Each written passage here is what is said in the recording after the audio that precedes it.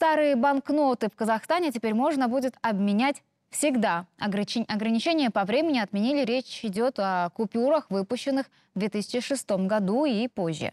В Нацбанке пояснили, что пошли на такой шаг по просьбе населения. Изымают сейчас тенге образца 2006 года, известные своим дизайном. На купюрах байтерек, карта Казахстана и раскрытая ладонь. Из обращения деньги с рукой вышли еще пять лет назад, и завершиться процесс обмена должен был в феврале.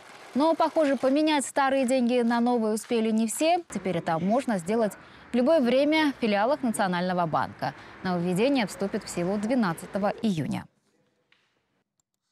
В случае выхода в обращение новых банкнот, старые и новые банкноты будут являться законным платежным средством и а, обязаны их принимать на протяжении одного года. В случае, если а, вы не успели обменять по тем или иным причинам данные банкноты, их можно будет обменять в филиалах Национального банка, а, где для них установлен бессрочный период обмена.